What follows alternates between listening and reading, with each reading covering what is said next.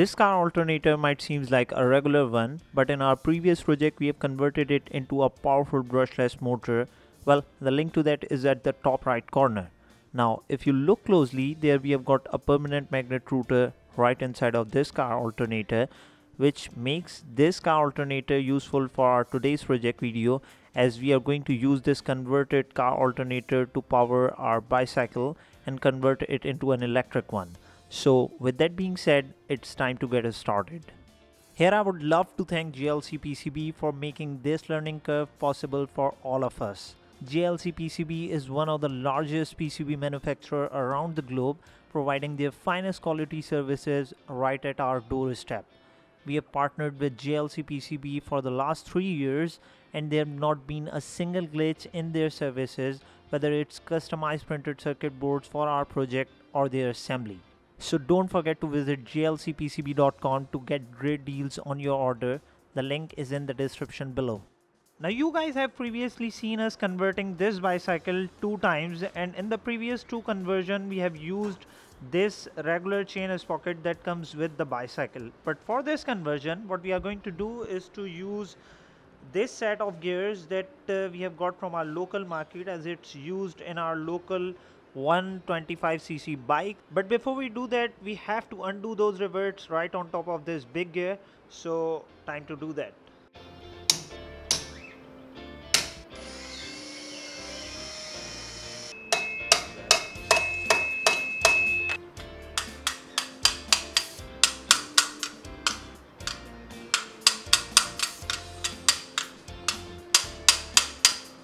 So finally we are able to get this gear out of its original contraption. We don't need these parts anymore. But what we are going to need is this pair of gears that are going to transmit power from the alternator right into our bicycle wheel but uh, if you notice over here these two gears have different sizes which responds to the gear ratio that we are going to achieve using these gears as the one right over here is the pinion having 18 teeth while this one has 72 teeth which means that we are going to have four times the torque and we are going to reduce four times the RPM from this alternator. So since this alternator offers a lot of RPM that we have to reduce so we are going to mount the pinion right onto the shaft of this alternator and uh, this large gear is going to be mounted right over here. But guess what our luck is going too good as uh, this gear has the same size as what we have right onto the adapter of this wheel. Now to mount this big gear on this wheel, what we are going to do is to drill 6 holes so that it matches with the adapter right on top of the axle of this wheel. So Mujtaba took the gear to the drill press and he started drilling. While I was editing the footage, I realized that the bit might be way too small for the hardened gear. But god damn it, I was absolutely wrong.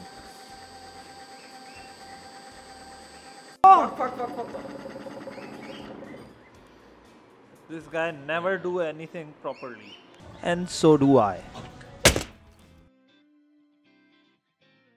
So we have just temporarily mounted the big gear on the wheel and the problem that we are facing right now is that we have very limited space to mount our alternator right over here and uh, what I'm suggesting Mujtaba is to cut down this piece weld a new metal plate right over here and made that plate the mounting of our alternator Mucha is really confused as he thinks that we are going to screw our bicycle and that's what the purpose of our DIY project videos these days is.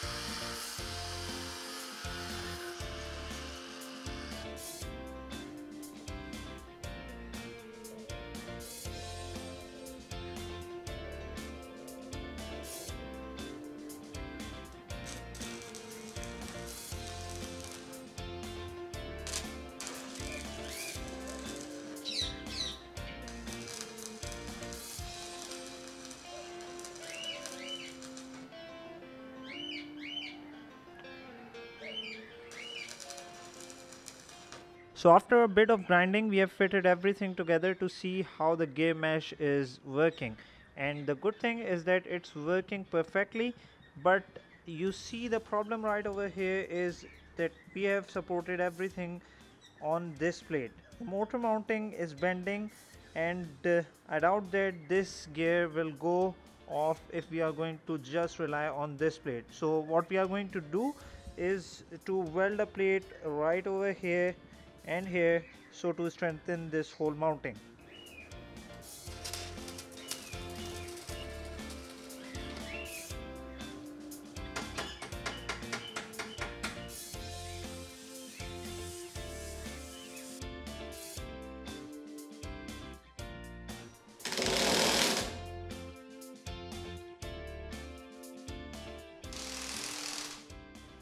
So finally we have got the motor in its place and as you can see over here it's much better with these supports than it was before. So with that being said we are done with the drive mechanism but to drive this motor we are going to need a brushless speed controller and luckily we have got one over here and as you can see this thing is rated for 200 amps and it can handle 12 cells lithium ion battery pack. So if you do the maths, this thing can put up 10 kilowatts of power into the bicycle. Well, the setup next to us is a 5 kilowatt Powerwall project that we are going to show you in our next project video. So stay tuned for that. Now this Powerwall can power everything in our house and our workshop combining our compressors, our heat gun and the stuff like that. So just imagine what this 10 kilowatts of power can do in a bicycle well we are going to have lots of fun with this much amount of power. So stick towards the end of the video as we are going to burst our bicycle into pieces. So let's get the rest of the stuff done.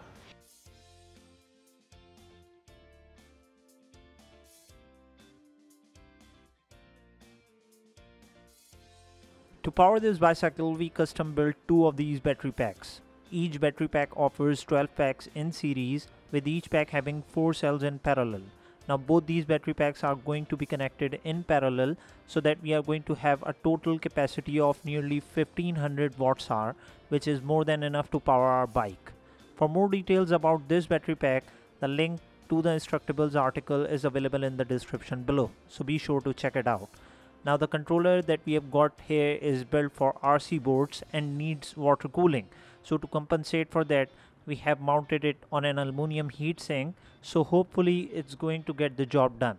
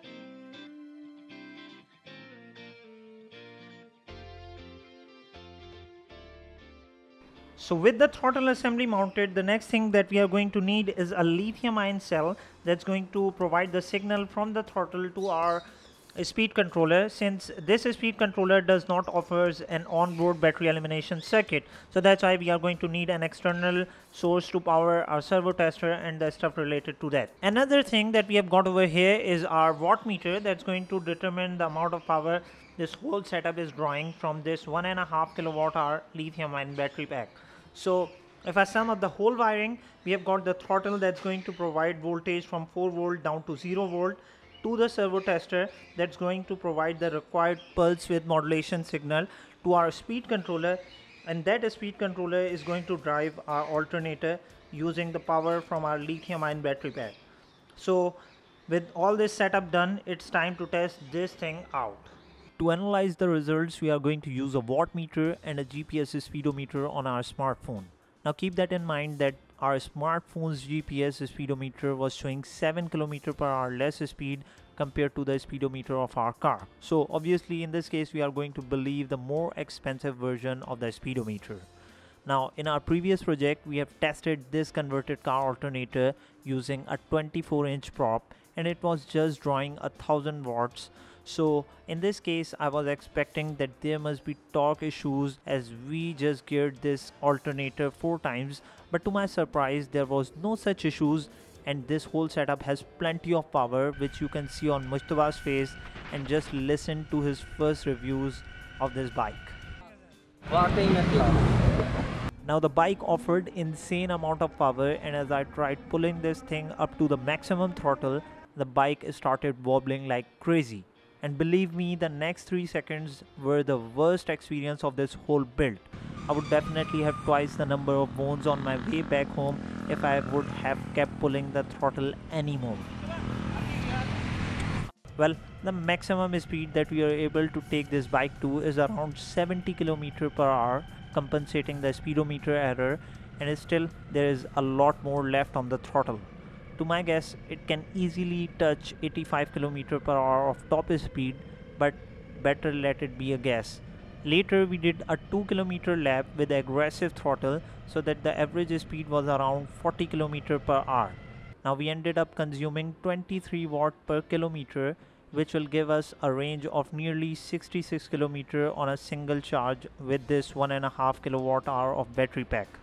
We did the same 2 km lap but this time with moderate throttle and averaging at 30 km per hour. So we ended up consuming 15 watt hour per kilometer and that provided us with a range of freaking 100 kilometers on a single charge. Well, that's insane.